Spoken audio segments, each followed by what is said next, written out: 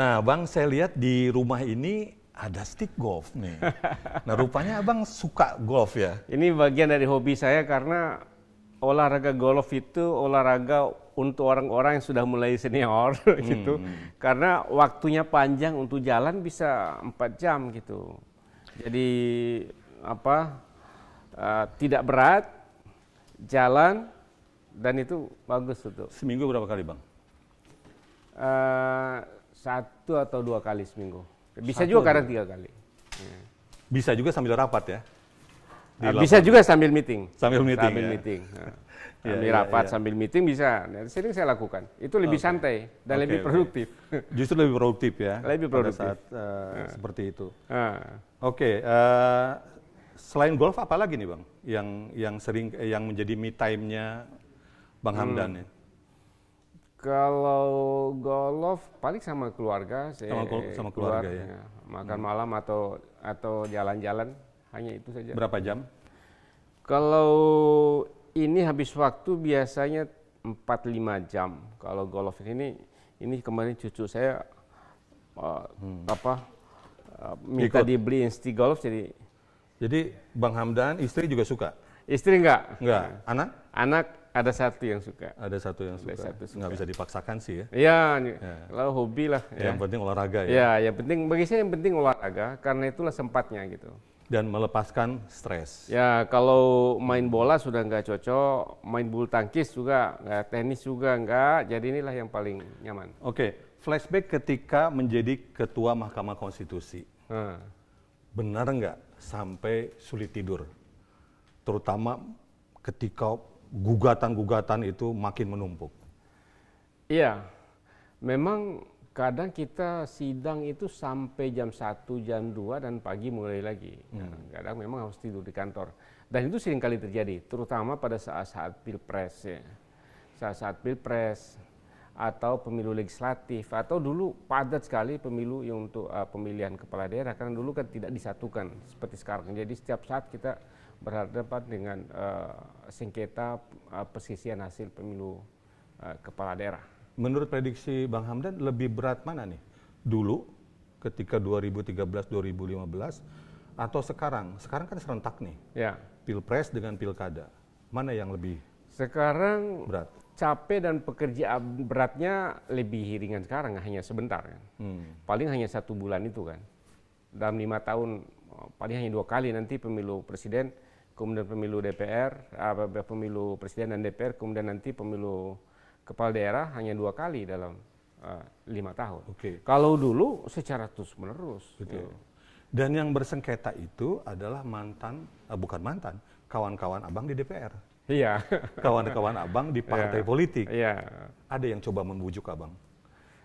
itu sih pasti banyak lah dan ada yang eh, sampai suatu saat gua gua nggak mau angkat-angkat telepon gua ya, saya bilang saya bilang gini ya nggak bisa sembarang saya angkat telepon saya bilang gitu karena saya harus lihat dulu ini orang sedang bersengketa apa belum Nah itu yang kelihatan enteng. iya Kalau yang lebih berat, penyuapan. Pernah nggak ada yang oh berusaha menyuap? ada besar sekali nilainya Besar sekali. dua turunan juga masih betul dengan janji segitu besar Dan eh, di sana memang butuh integritas ya. Ya, Kalau kita jadi. berpikir pendek, lebih baik Karena gitu ya. sengketa politik itu sengketa berat, kan sederhana cara berpikirnya. Kalau menang di MK kan biayanya tidak terlalu besar daripada menang di lapangan, Oke, oke. kan gitu. Betul, betul, betul. Bahkan ada yang kirim eh, melalui faksimal eh, ancaman eh, kami sudah tahu anak-anak Pak Hamdan sekolah di mana, tinggal di mana, dan kami eh, sudah biasa melakukan pembunuhan dari dulu. Merinding juga ya. Nah, itu. Tapi bagi saya, saya kasih kepada sekjen, tolong sampaikan kepada apa kepolisian, kalau saya ada apa-apa, ini ada surat ini. Tapi Oke. saya sedikit pun tidak pernah merasa takut, karena itu ancaman saja. Iya, ya iya, iya. apa pun yang terjadi resiko jabatan. Telepon pernah bang? Telepon-telepon yang tidak Oh, telepon. WA, SMS, yang paling banyak itu SMS. SMS, SMS saya tidak tahu sumber Ancamannya. dari mana. Dan ancamannya sampai ke ancaman pembunuhan. Itu Veximail. melalui mail. Nah, sejak saat itu apakah ada peningkatan pengamanan atau memang ada protap yang memang sudah standarnya seperti itu? Ada atau tidak ada ancaman? Ya, protap standar aja. Protap standar Tidak, aja. Hmm. tidak ada peningkatan. Saya saya bilang hanya untuk jaga-jaga aja udah. Lapor kepada kepolisian. Nanti kalau ada apa-apa ini ada ada laporan sudah disampaikan. Ngeri juga ya bang. Pertarungannya nyawa. Ya, namanya memutuskan hal besar kan. Oh, Politik menyangkut bangsa dan negara dari kepentingan Iya. orang banyak. Oke, ancaman itu akhirnya berdampak nggak ke nilai putusan? Ya tidak biasa aja. Ayo, aduh, oh ini berdiri terus ini. ayo, ayo, Iya, Bang. kita ngobrol sini aja santai deh, ya, sambil duduk.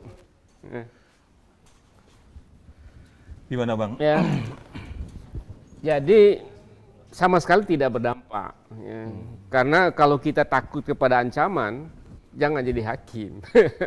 Ulang bang, kalau takut. sama kalau bertakut sama ancaman, jangan jadi hakim. Nah, quote of the day itu. Iya.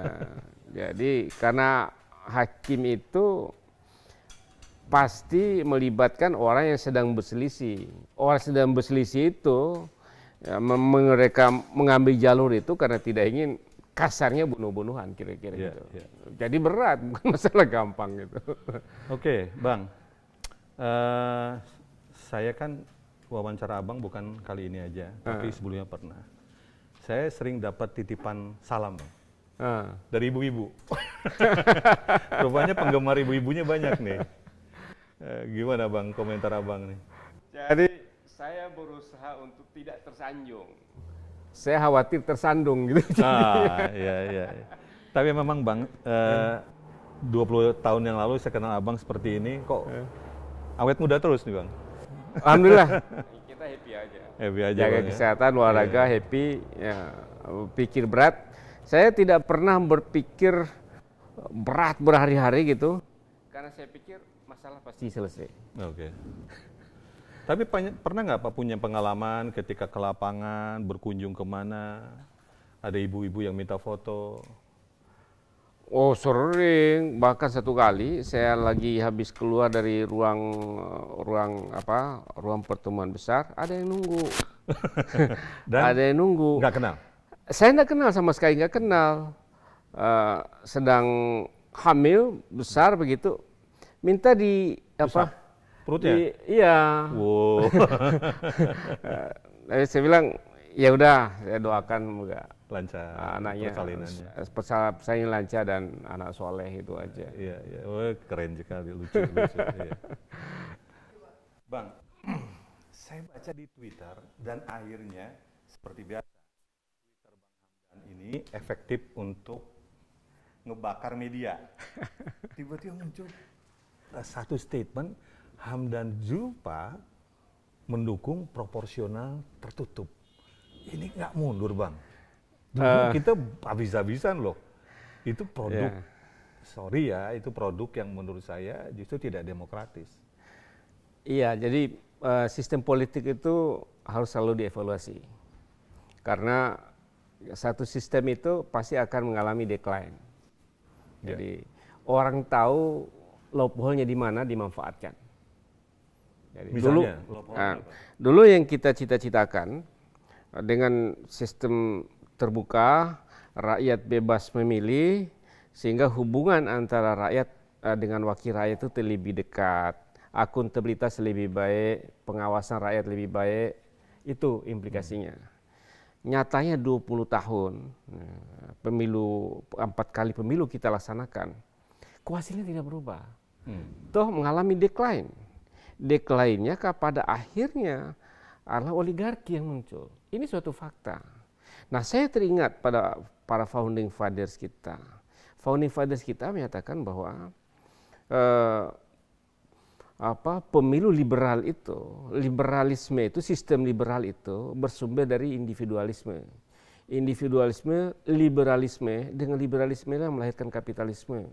Kapitalisme melahirkan imperialisme. Oleh karena itu, Soekarno, Hatta dan para founding fathers kita tidak setuju dengan sistem politik liberal.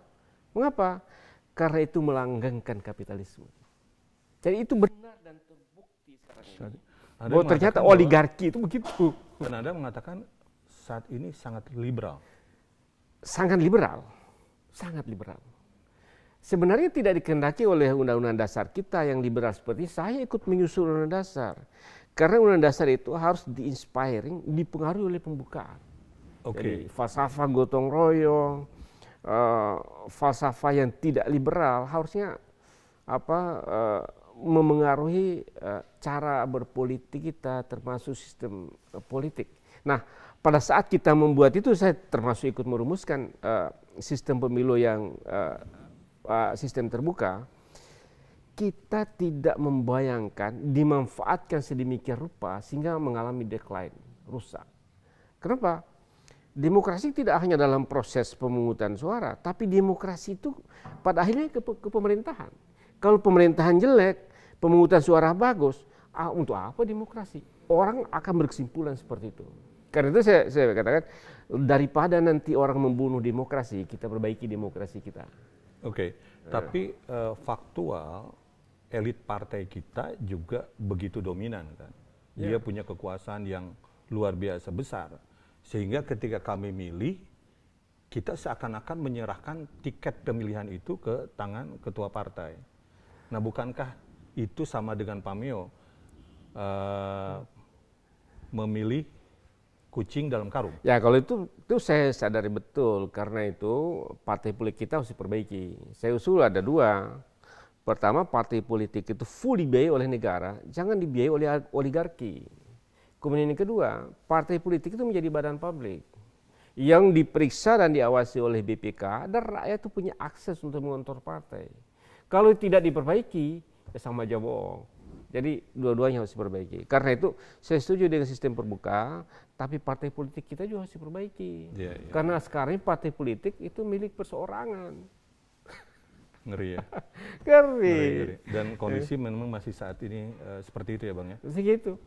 Jadi sistem terbuka pun pengaruh partai itu sangat luar biasa. Orang bilang aja bahwa oh nanti partai anggota yang terpilih menjadi independen, mana ada. Ya, ya, ya.